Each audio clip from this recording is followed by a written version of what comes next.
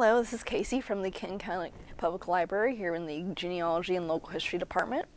And we're back again with another installment of our Adventures in the Archives video series where we take a look at some of our special collections here in the department that um, a lot of patrons may not know about.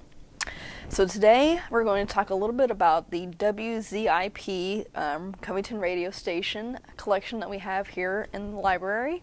It's not a very big collection, but this was actually a lot of fun to do some research on. Um, prior to finding this back in our archive, I really had no idea that the station existed back in the um, around late 40s, 50s, and it was really fun to learn more about the disc jockeys that worked there and some of the history of the programming and some stuff that they also did throughout the community. So, just to get started, I want to give you a little bit of history about the station. Um, so, this is from the Northern Kentucky Encyclopedia. It has a really concise um, history of the station. WZIP, the voice of Northern Kentucky, went on the air on October 5th, 1947 and the station has offices and studios atop the building at the southwest corner of 6th and Madison and Covington. Uh, it actually began as sort of a competition between um, a couple of local groups that wanted a radio station in Covington, and ZIP won out. Um, the group consisted of Arthur Eilerman, Gregory Hughes, and Charles Tot Miller. Um, the Eilerman family was actually already pretty well known in Covington as they owned a clothing shop um, off on Pike Street. Uh, WZIP um, really supported the community in a lot of different ways, um, whether that was through their on air programming, interviews with community members, um, public officials, educators, entertainers, sports teams, anyone that was local to the area they wanted to get involved in the station. Um, they also featured um, a lot of different music that other stations at the time didn't really play. Um, they had their first African American disc jockey, Ernie Waits, play music on the station as well. There was some religious programming, including um, Temple of Israel off on Scott Street, so that was very unusual for the time to have a rabbi have religious um, Jewish programming on station as well. Um, they also played a lot of different music that wasn't found in other areas, such as you know jazz, blues, um, hillbilly music, which an actual term for the country music during that time is not uh, a bad thing. That's just sort of what it was referred to as. Um, in researching this, I also found there was um, a female country um, disc jockey that also um, played music, the hillbilly music on WZIP, named Inez Hellman, but she also used um, a sort of a um, stage name, I suppose, um, Connie Hall, and she was a country singer herself and actually performed at the Grand Ole Opry. So that was kind of interesting to find that out as well.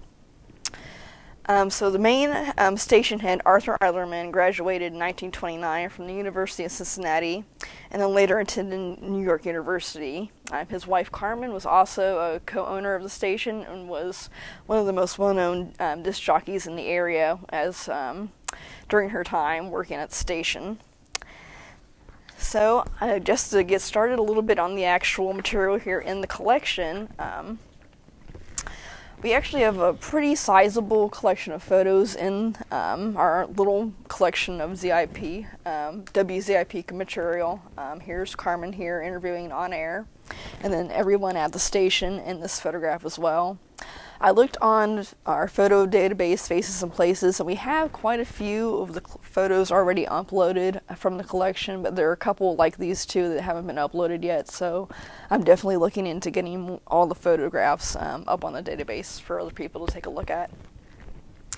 Um, mentioning some of the stuff that they were involved with um, in the community, they did a lot of um, fundraising for children during war times. Um, this just says Italian Korean war children are beneficiaries of foster parent program in Covington Station.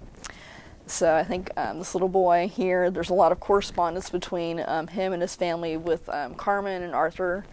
Um, in the collection as well. I think he was from Korea, I believe, and this um, little girl is from Italy. So they did a lot of stuff like that, raising money for um, charities. I know Carmen was really involved with a lot of local charities um, for kids in the Covington area, so they did a lot of stuff like that for the community.